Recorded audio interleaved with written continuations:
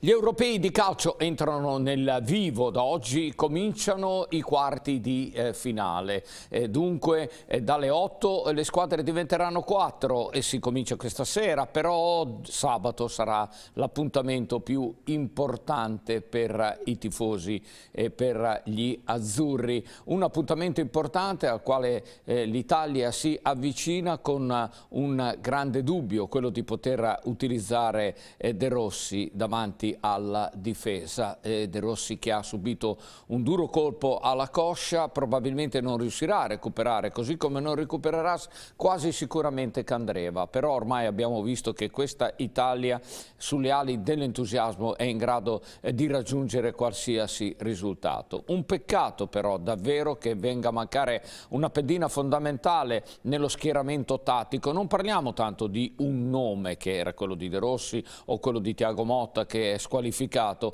ma una pedina fondamentale proprio per lo svolgimento tattico in eh, chiave eh, Italia edizione Conte. Eh, non c'è Marchisio, non c'è Verratti, insomma sembra quasi una maledizione, Marchisio e Verratti fermati prima dell'inizio eh, della, eh, della, convocazione e ora gli altri, però eh, questa Italia secondo me può andare oltre anche le maledizioni.